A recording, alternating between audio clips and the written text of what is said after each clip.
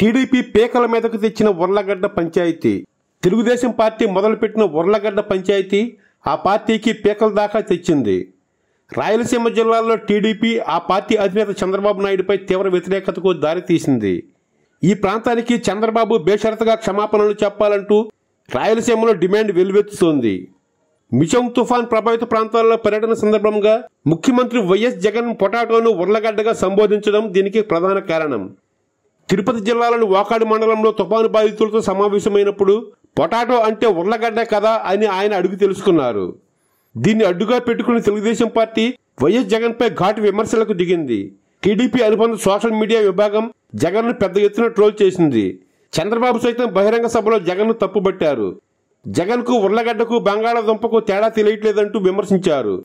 ఈ వ్యవహారం రాయలసీమ జిల్లాలో తెలుగుదేశం పార్టీ పట్ల తీవ్ర వ్యతిరేకతకు కారణమైంది. చంద్రబాబుపై సీమవాసులు బగ్గుమంటున్నారు. రాయలసీమలో పుట్టి నలభై సంవత్సరాలుగా రాజకీయాల్లో ఉంటున్న చంద్రబాబుకు ఏ ప్రాంతంలో ఏ యాసతో మాట్లాడతారనేది కూడా తెలియట్లేదా అంటూ ధ్వజమెత్తుతున్నారు. తాజాగా రాయలసీమ భాషా పరిరక్షణ సమితి ఓ ప్రకటన విడుదల చేసింది. రాయలసీమ యాస భాష ఎంతో విభిన్నం విలక్షణం అని గుర్తు చేసింది. సీమ భాష అంటే తెలుగు ప్రజలకు అత్యంత ప్రీతి అని పేర్కొంది.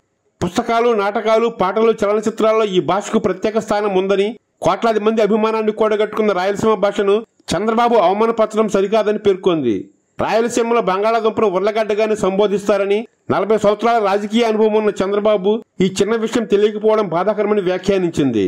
అసలు వాస్తవాలు తెలుసుకోకుండా రాయలసీమ భాషను కించపరచడం సీమ ప్రతిష్టను దెబ్బతీయడమేనని పేర్కొంది.